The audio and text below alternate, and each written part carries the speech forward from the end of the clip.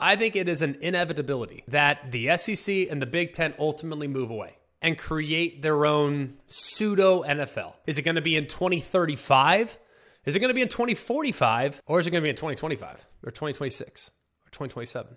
That's the big question. It's not a matter of if, it's a matter of when. And it's also a matter of how many. Because right now there's 34. And how many more are going to be brought alongside the SEC and the Big Ten in an effort to create a bigger faction of dominant programs?